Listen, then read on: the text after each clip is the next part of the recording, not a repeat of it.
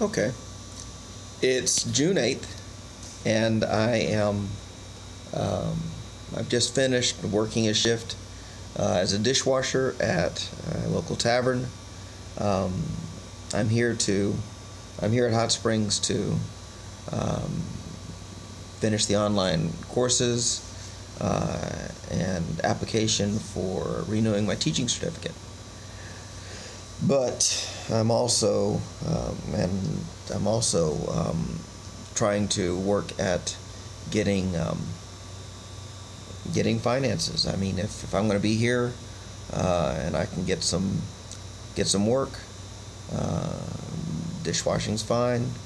Um, right now, uh, I'm uh, being put up at uh, at the hostel, uh, work for stay type of situation, and um, working uh, working um, for a tavern, washing their dishes, um, and actually for the restaurant next to it, where I worked um, and cleaning, helping them clean up. So uh, so I'm trying to stay busy, um, doing the coursework and uh, and doing some work work uh, to get some money, so um, so I can keep my finances going. Um, uh, I'm not going to go down swinging, uh, or um, you know, if I go down, I'm going to go down swinging. Um, so I uh, so I keep all my keep my finances in order. Um, but that's what I'm doing today. I'm in Hot Springs, North Carolina. It's got uh, few restaurants. It's got a few uh, places to eat.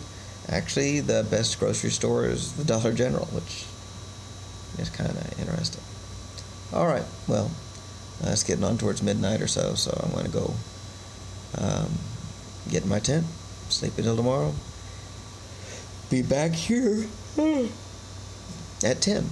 So tomorrow I'm working 10 to 5, so um, actually the next three days. So Friday, Saturday, Sunday, I'm going to work 10 to 5. And, uh, and um, work, um, you know, work on my Wi Fi and stuff afterwards um, in the evenings. So, all right. Well, enjoy, people.